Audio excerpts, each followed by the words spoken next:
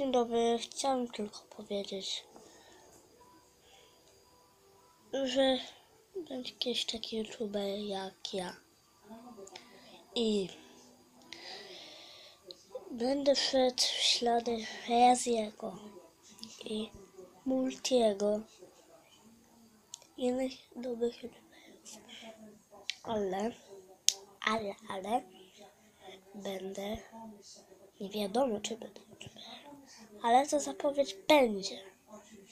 Będzie i ona będzie do końca życia. Do końca świata. Dobrze.